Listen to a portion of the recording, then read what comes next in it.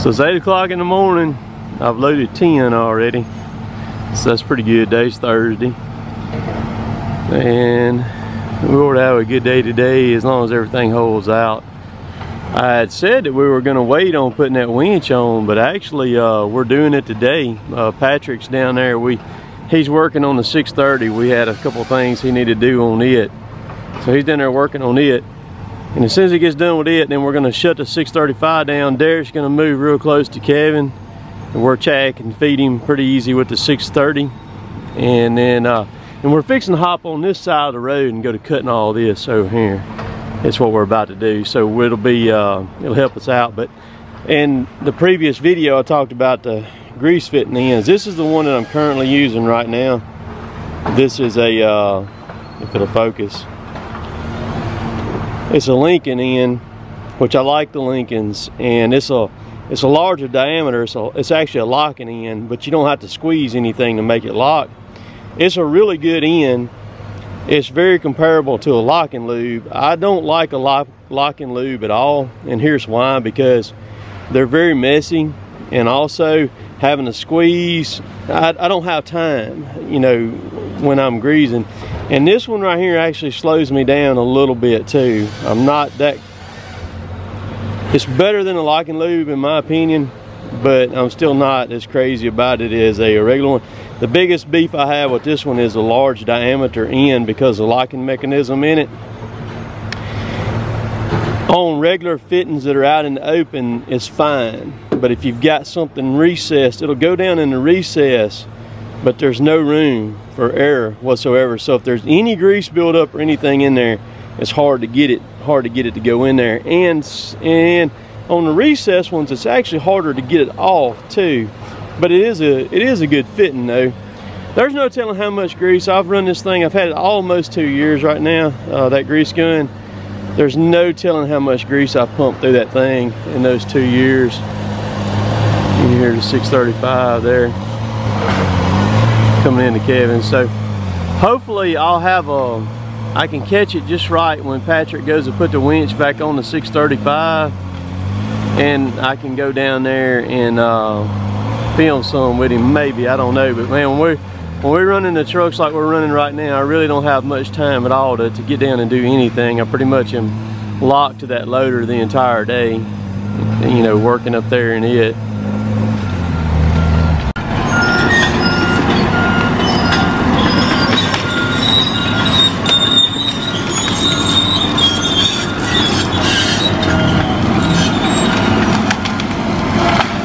All the pine straw falling on him. These uh, trees alongside the road always suck. See all the limbs on them? Because that sunlight can hit them. Makes them limbs grow. Man, crap flying in there.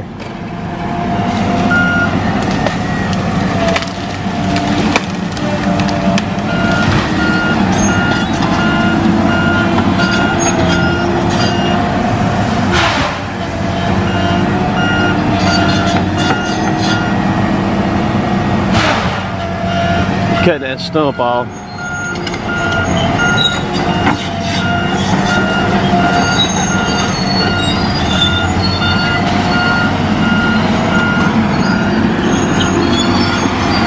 Uh, it's gonna blow it back at me right here. Y'all watch this. Them chips will come all the way over here.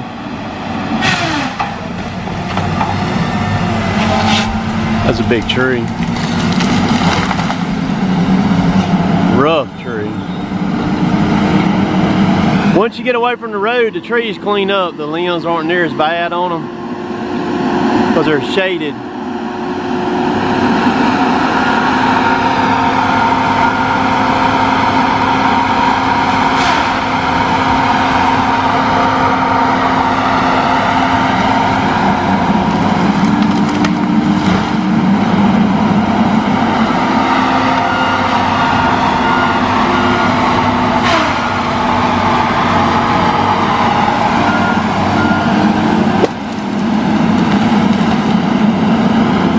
Break the top out of that tree.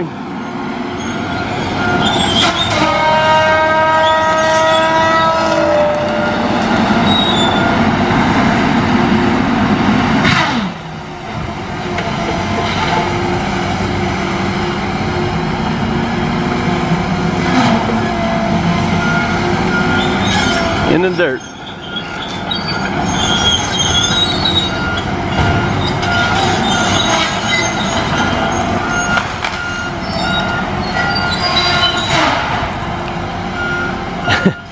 Wish y'all could see that. Be here, out here standing beside me watching that thing run. I mean, it's just, I mean, it just, it's unstoppable. I mean, it just, you can spin any which way you want to on it, you know. See what he did on that one, it's got a big butt on it, so he baited it. Yeah, he baited it, let his disc catch back up and then he'll stick his saw right back in that same slot to where he can cut all the way through it at one time.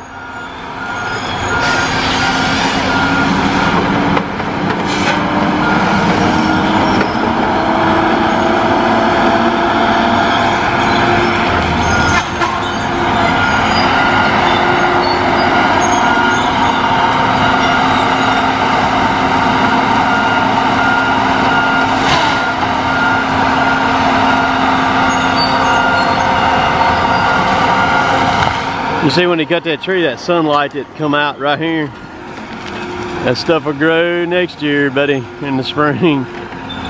It's all about getting that sunlight to the ground.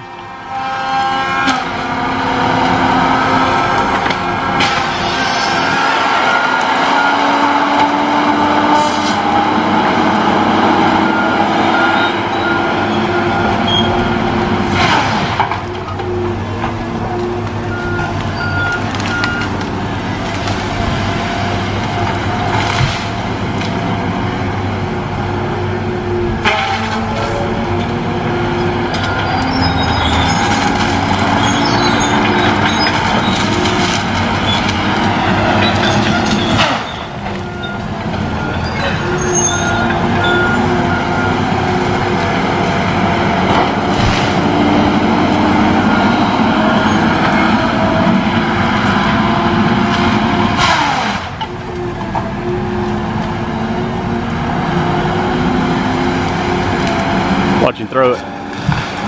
See it laying right there even with that other one.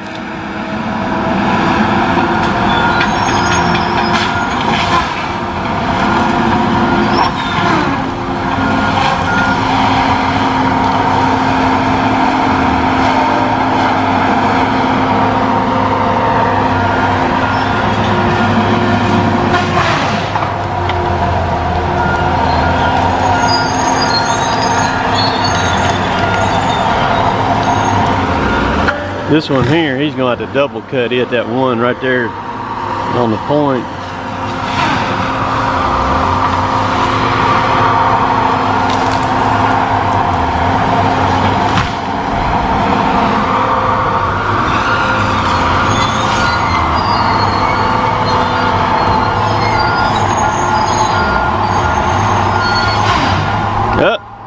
Too low. Let his disc catch up. She's falling though, look at her. They got it.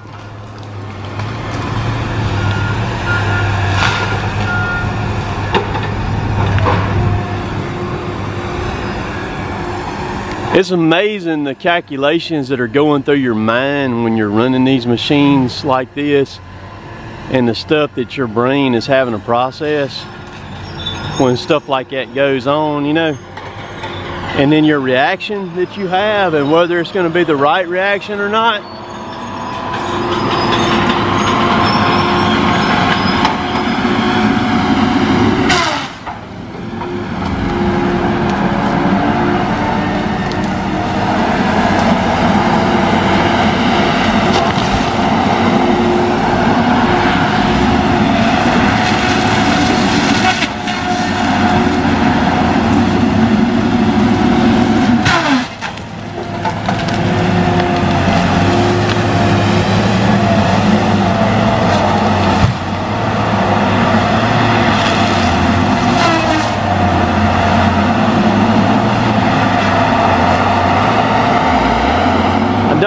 these machines running this dust. Look at the dust floating all the way across there.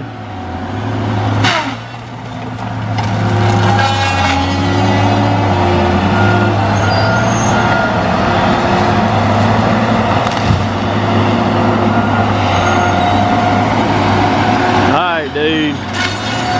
She let that thing hit my loader. What he would, if I was gonna cut that tree, I would bait it from this side and then I'd track up here in the road and cut it and throw it back is what I'd do. Let's see if he does that.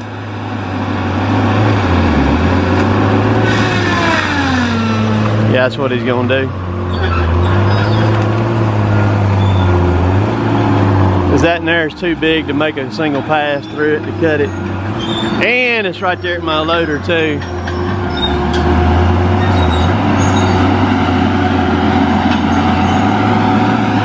Before he cuts that tree, he'll take and he'll lean that head forward just a little bit to where the top heel of that head will touch the tree first. And then it will start it will start pushing the tree over a little bit before he ever touches it with the saw. That way it guarantees that the tree is going that way. If you hit it with the saw first, it can flip right back over the top of you or to the side of you. See him lean the head forward. Head gun. He still about let it get away from him.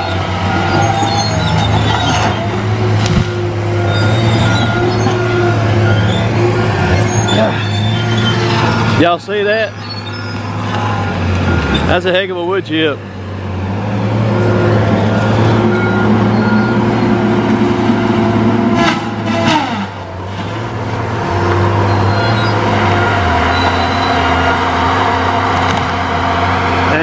Does. I got to get back up to my loader here.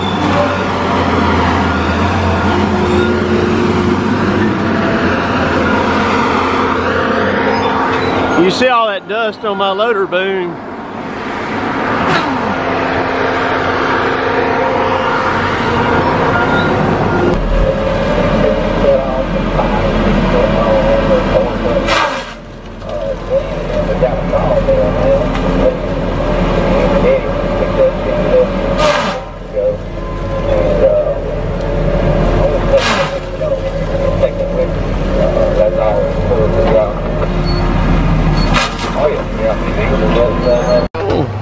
You gonna be on camera? Look, everybody gotta see how sexy you are. Look, we got our fire extinguisher guy out here today, or one of them.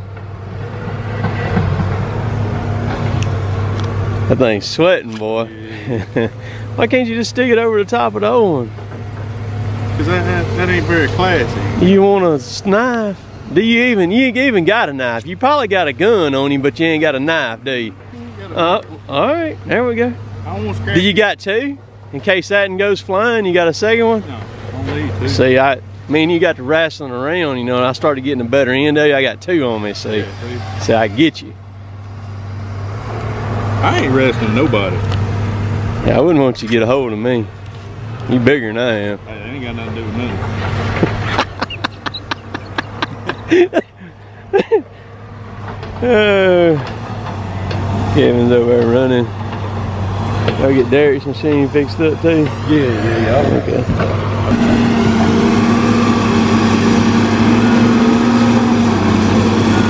So what we have to do is we have to get these fire extinguishers a new tag on them once a year.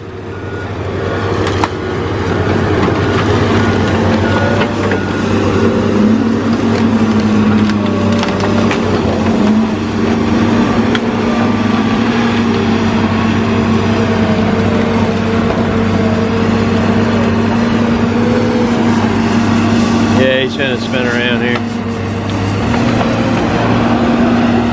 So every machine's got one on it. Woo, don't hit the track, dude. Hmm, that wouldn't have been good. Stopping the working man. I know, dude. Killing us. There we go. So these things have to be inspected once a year which basically just means they come out and put a new sticker on it make sure the charge is still in it might take and shake it a little bit if it feels like because you can feel that powder in there when he does that what it feels like that one there is mounted in that skidder horizontal which is a good thing because yeah, when you stand it up it's good to go it shakes it up rather than being vertical and it's sitting there pounding all the time. So there he goes. Oh God, here we go. All right, Lord have mercy. There you go. Well, they got the winch on there. They needs help getting it rolled up. Show them guns, man. Show. Come on, man. Pull that kink out of that thing. There you go. Got one more. Almost. Look at you go. What you sweating for?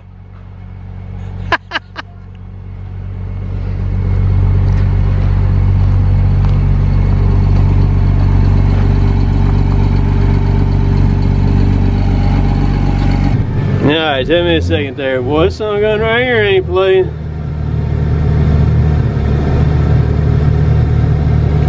As Actually said, they don't seen you film this one time. I said, man, people like to see this stuff. They like to see it over and over and over again. Oh, that's feeding on there good, I mean.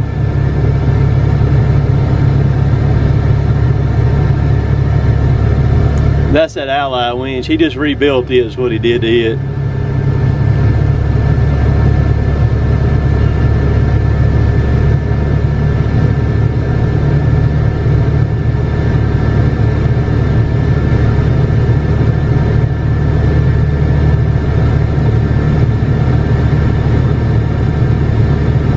There we go.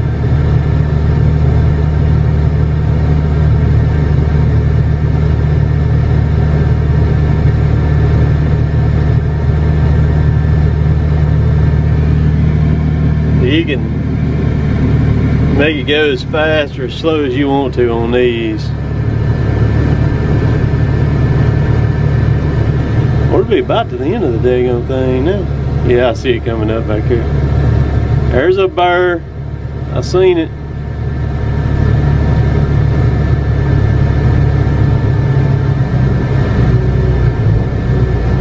All right, Patrick. It's coming.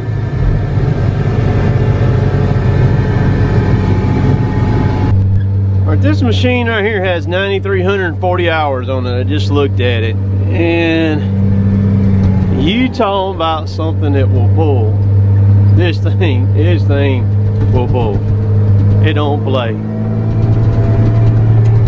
Here I am, Chad. Get it over here to Chad where he can get on this and get to running on it because it'll it'll pull a good bit more than that 630 will. I ain't got the door shut all the way right there. That's what all that bumping is. That dang 630 ain't no slouch, but it ain't no match to what that thing is right there. Whew. See, I think I'm at 23 right now. Loads is what I'm at. We should end up about 27, I think. So just to cap things off, man, uh, today loaded 29 is what we ended up loading today. So that's 24, 28, 28, and then 29. It puts us at 109 in four days. So uh, we'll see what we get tomorrow. Um, not sure how the mills are going to do. Some of them close a little bit early on uh, Friday, and uh, but we'll run we'll run with it there and see what we end up with. Which should be around 130, 130 something, maybe in the low 130s. But uh, I'll let y'all know in a day or so. I'm, I think Saturday's video, if everything works out right, it's going to be a little short video. If things work out right, I've already got it uploaded and, and all that. But uh, hope y'all have a, a good weekend. Remember, I'll be in the at the Sunbelt Ag Expo. There's a link in the description for it there. Uh, middle of October, Moultrie, Georgia. That's a big show. That show ain't no joke. Uh, if you're in the farming or any kind of ag stuff, or I mean, it, it basically covers everything. I mean, um, so if you're into that, come on. Uh, I'll be at the Husqvarna booth. Uh, they'll be selling chainsaws. Local dealer there will be selling chainsaws, Husqvarna stuff. I'm sure they'll have killer deals on some of that stuff too. They always do. So uh, come on, you can run them there too. So we'll catch y'all there. Later, times.